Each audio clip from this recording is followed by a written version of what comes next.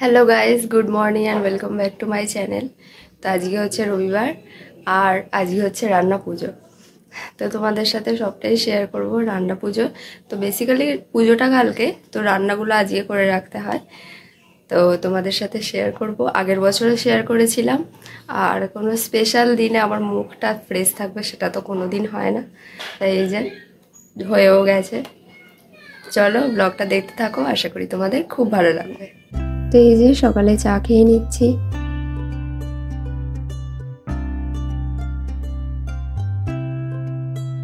আর মা এখন এখানে আটা মাখছে, রুটি করবে বাপির জন্য, টিফিনে খাওয়ার জন্য। আর আমাদের জন্য আছে মুড়ি।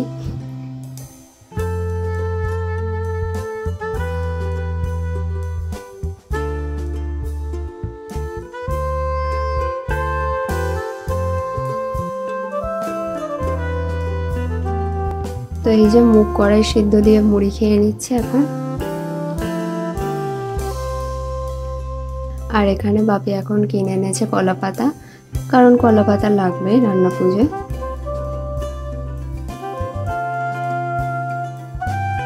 তো এরপর আজকে খাওয়ার লোকেশন চেঞ্জ হয়ে গেছে। আজকে রান্নাঘরের বদলে বারান্দায় খাওয়া দাওয়া করছি। তো মা রান্না করেছে ভাত টমেটো, আলু ভাতে আর মুগের ডাল। এটাই সব থেকে বেস্ট খাবার আমার কাছে। আর বাপিও বলছিল।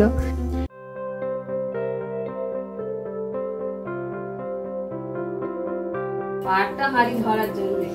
আর প্যাকাটে দিয়ে নাড়ার জন্য। ধরাবার জন্য ও। গ্যাসে তো হচ্ছে ওই জন্য গ্যাসে শুধু একটু ধরে দিল।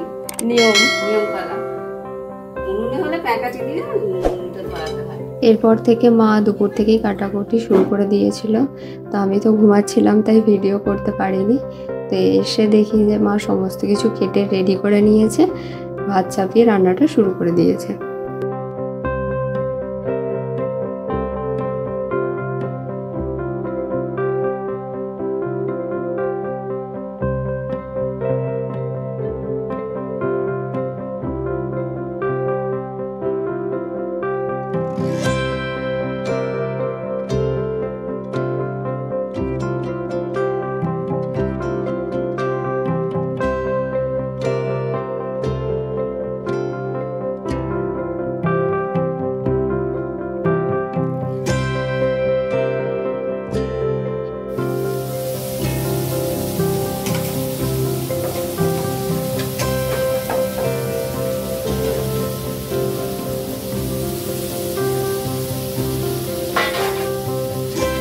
তো এরপর আমাদের অর্ধেক রান্না যখন মা করে নিয়েছে, তার মধ্যে চলে যায় কারেন্ট।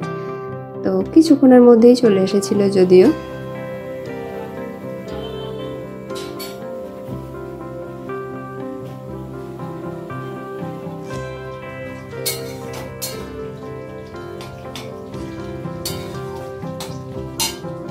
তো এরপর এই যে সমস্ত রান্না হয়ে গেছে। তো কি কি রান্না হয়েছে তোমাদেরকে একবার বলে দিই চটপট। তো নরকম ভাজা হয়েছে। তার মধ্যে রয়েছে আলু বেগুন, পটল আর চিচিঙ্গা ভাজা, করলা ভাজা, মাছ ভাজা, নারকেল ভাজা, ঢ্যাঁড়স ভাজা, কুমড়ো ভাজা।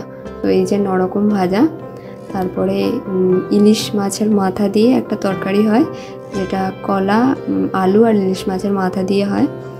আর তার সাথে তো ভাত আর ডাল রয়েছে। আর রয়েছে চাটনি। তো ব্যাস, রান্না কমপ্লিট হয়ে গেছে মার। তো এরপর এই যে আমাদের বাড়ি দুটো বাচ্চা চলে এসেছে।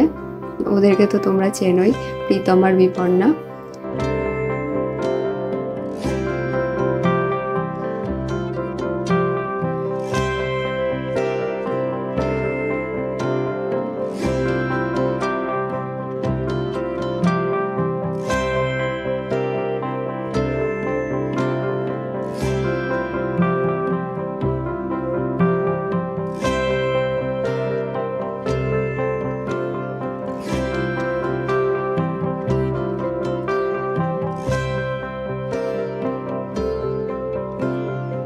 তো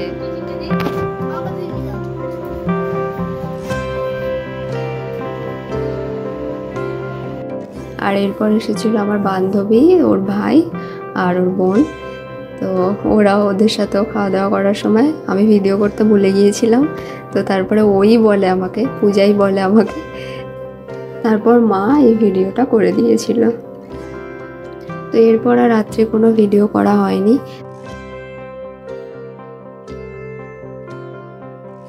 একদম চলে এলাম পরের দিন সকালে। মা এখন বানিয়ে নিচ্ছে আমাদের এখানে চলতি ভাষাটাকে হালা ফুল বলে, আর এর ভালো নাম শাপলা ফুল। মনে হয় যতদূর শাপলাই হবে, তো সেটার মালা বানিয়ে নিচ্ছে।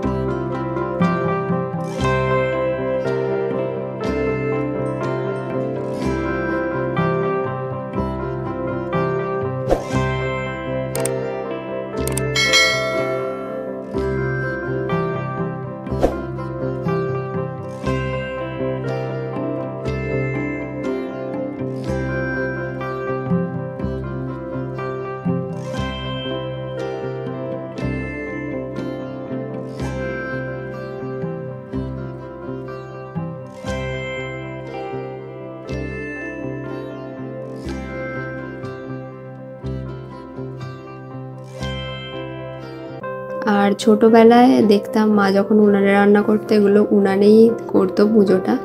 তো যেহেতু এখন আর উনান নেই, তাই গ্যাস ওভেনে রান্না হয়েছে, তাই পুজোটাও গ্যাস ওভেনেই করা হচ্ছে।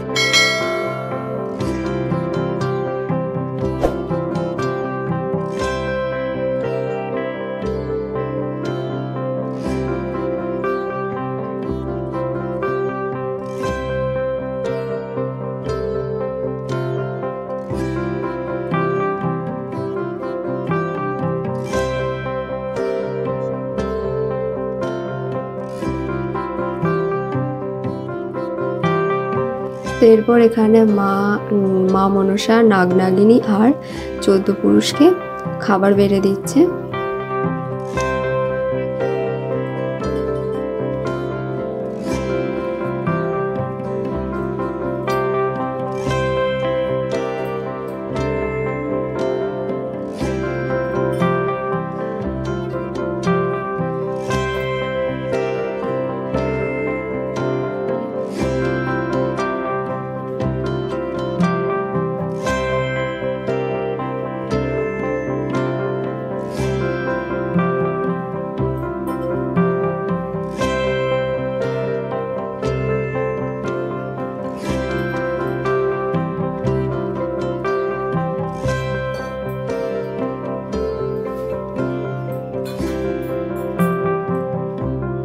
তো এরপর মা এখানে শাক বাজিয়ে পুজোটা কমপ্লিট করে নিচ্ছে।